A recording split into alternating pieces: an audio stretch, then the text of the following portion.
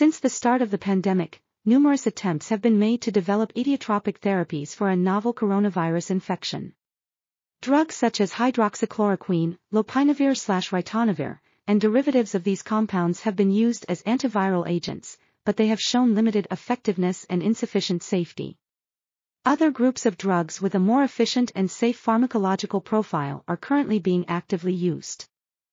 The goal of this study was to analyze the literature references on the efficacy and safety of antiviral drugs for the treatment of COVID-19.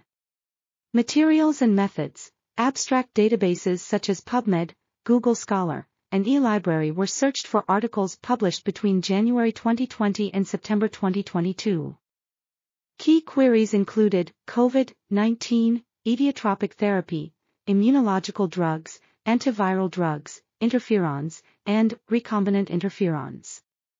Results Several groups of drugs have been found to be of interest from the perspective of etiotropic therapy, including immunological drugs. This article was authored by D. N. Zemskov, L. A. Balykova, O. A. Radaeva, and others. We are RTCL.TV, links in the description below.